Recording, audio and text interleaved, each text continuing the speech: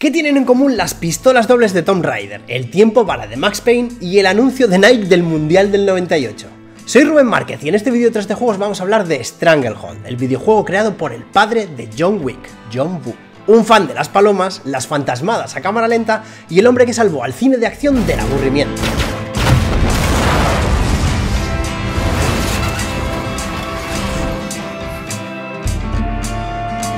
Lanzado allá por 2007, la mezcla Stranglehold de disparos con tiempo bala y piruetas locas mientras acababas con decenas de enemigos con pistolas a dos manos, lo convertían en un juego que supuraba exceso por cada uno de sus polígonos. Hay pocas cosas más sorprendentes y estimulantes que pegar tiros colgado desde una lámpara, reventar un cartel luminoso para que se lleve por delante a un par de malajes, o lanzarte en plancha sobre un carrito para reventar cabezas y objetos del escenario mientras te mueves a cámara lenta. Pero para cuando llegó el juego a PC, Play 3 y Xbox 360, pese a llevar la coletilla de presentado por John Fu, ya quedaba poca gente a la que sorprender con ese estilo de acción. Público y jugadores estaban ya atiborrados de ideas similares no solo en el cine de acción con pelotazos de la talla de The Matrix, sino también en el mundo del videojuego de la mano de joyas como Max Payne, frente a las que algo como Stranglehold parecía la copia de la copia en formato marca blanca. Para los que sabían de dónde nacían aquellas ideas y esa particular forma de entender los tiroteos, la emoción de poder jugar a esta demencial historia de tríadas y policías de los que tiran la placa para hacer las cosas a su manera era algo demasiado importante como para pararse a debatir sobre quién había disparado primero. Aunque a día de hoy las escenas de disparo suelen estar plagadas de efectos especiales y secuencias espectaculares con movimientos acrobáticos como si de repente a Jackie Chan le hubiese dado por cambiar las sartenes por escopetas recortadas, en realidad el pasado de los tiroteos en el mundo del cine era mucho más aburrido. El ejemplo perfecto de esa evolución lo podemos ver en la diferencia entre los tiroteos de Los Siete Magníficos, de su primera versión, la de 1960, donde se utilizaba un plano para el apuntado y el disparo, y otro para la reacción provocada por el mismo. Y el remake de 2016, en el que la acción cambiaba para mostrarnos a la vez la acción y la reacción, mientras disparaban Chris Pratt, Denzel Washington o Ethan Hawke. Lo curioso es que es precisamente a Ethan, a este no, a este, a quien le debemos gran parte de ese cambio de perspectiva. Bueno, no exactamente al protagonista de Misión Imposible, sino al director de su segunda entrega. El genio que supo mezclar con maestría las escenas de acción más excesivas y espectaculares de la saga hasta conseguir meterle en la mollera a Tom Cruise que ese era el camino a seguir, John Woo. Toca viajar hasta 1986 para cruzarnos con la primera secuencia en la que esa acción y reacción compartían plano de la forma más espectacular posible con Un Mañana Mejor, la película número 17 de un director que por aquel entonces solo se conocía entre los círculos de fans del cine asiático. Mientras que el resto del mundo aún entendía los tiroteos como un símbolo de violencia en el que el protagonismo se lo llevaba el muerto que caía desde un tejado de forma vistosa en vez de quien realizaba el disparo,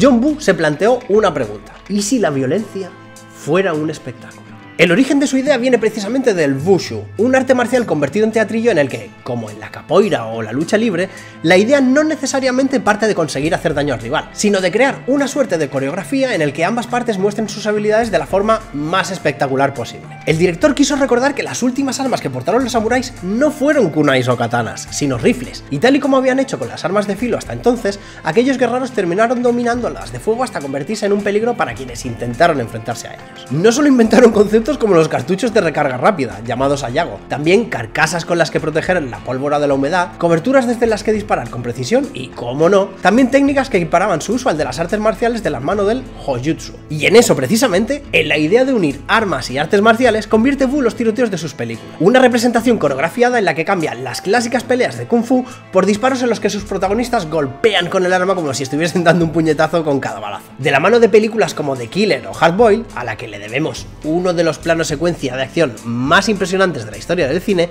John Fu convierte el espectáculo del Kung Fu en el Gang Fu, y con ello se gana la atención de Hollywood. En un salto al cine estadounidense en el que sigue demostrando su estilo, pero de una forma mucho más comedida, el genio de Hong Kong nos deja películas como Cara a Cara, con secuencias tan míticas como la del espejo, o Misión Imposible 2, que pese a todas las locuras de las que ha hecho Galatón Cruz a posteriori, sigue siendo la cinta más descerebrada de toda la franquicia. Para entonces el mundo del cine occidental ya se había hecho suyo el Fu, y donde Wu firmaba historias y coreografías espectaculares, pero verosímiles, el cine palomitero añade otra pregunta a la ecuación. ¿Y si los disparos los hicieron superhéroes. Al estilo inventado por Wu le debemos el festival de balas de Blade, los tiroteos a cámara lenta de The Matrix, el cenit de todo lo que significaba el Fu de Equilibrium, el espectáculo de tiros a dos manos de Kick-Ass o la suma de todas esas ideas locas que resultaron ser Wanted, Kingsman y, por supuestísimo,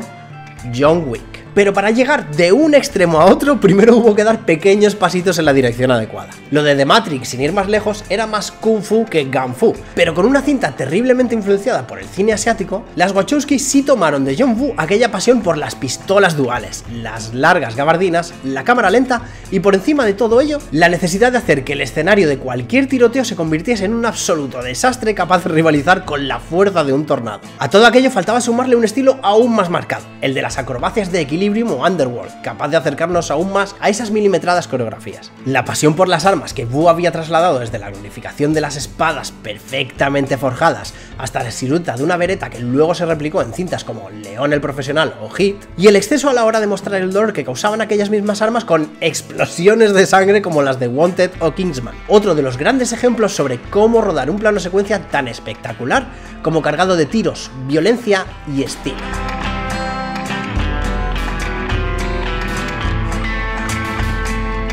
Tan influyente fue aquella forma de rodar la acción, siempre en busca del plano más revelador y excesivo posible, que hasta acabó premiando en otros mundos como el de la publicidad, con el anuncio de Nike y la Brasil del Yogo Bonito para el Mundial de 1998 como máximo exponente. Esto, a su manera, también era Gunfu. Y por descontado, también a los videojuegos. Las pistolas duales de Tomb Raider, la cámara lenta de Max Payne, las coreografías de bayoneta mientras disparas, las palomas de Metal Gear Solid 2. Nada de eso es casualidad. Todo, de una forma u otra, se lo debemos al maestro John. Así que no, Stranglehold no era un Max Payne de hacendado, sino la forma en la que John Wu elevó a la máxima expresión todo lo que le había llevado hasta ahí. Un homenaje virtual en forma de secuela espiritual de Hardboil en el que, acompañados de su musa Chow Yun Fat, inmortalizando una vez más a la gente tequila, desplegaba todas sus ideas en forma de escenarios destruibles, disparos acrobáticos, secuencias a cámara lenta y palomas sobrevolando el escenario sin saber muy bien de dónde narices habían salido. La mala suerte quiso, sin embargo, que a aquella ensalada de tiros le acompañase un diseño de niveles que, más a menudo de lo que nos gustaría,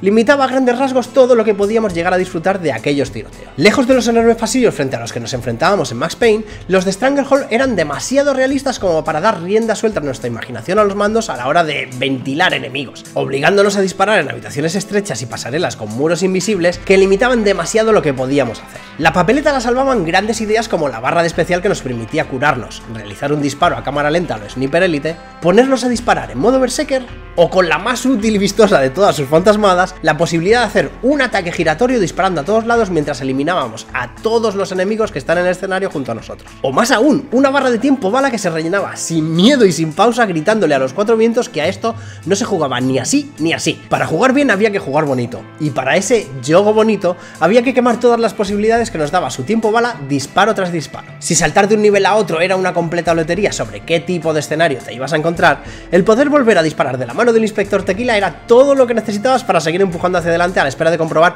con qué nueva genialidad te sacaba una sonrisa. Grindar barandillas, proteger a una banda de jazz mientras reventabas un casino, cubrirte tras las paredes mientras los cascotes salían despedidos por la fuerza de las balas, grindar un dinosaurio mientras reventabas cabezas a cámara lenta, cada instante en el que Stranglehold se atrevía a ser más John Woo que videojuego, quien estaba a los mandos se acordaba un poquito de The Killer, un poco de Hardboiled y, como no podía ser de otra forma para quienes pasamos nuestra adolescencia tarareando aquella versión de Limp Bizkit, también de Misión Imposible 2. Pese a que los años no pasan en balde y Stranglehold tuvo que vérselas con un 2007 en el que recibimos Modern Warfare, Portal, Halo 3, Bioshock, Uncharted o Super Mario Galaxy, el legado de John Woo va mucho más allá de lo que pudo conseguir con su único videojuego. Cada vez que veas a un avatar con dos armas, una secuencia cámara lenta un baile adornado con disparos o un puñado de palomas volando en segundo plano, recuerda ese legado y di para tus adentros. Gracias, John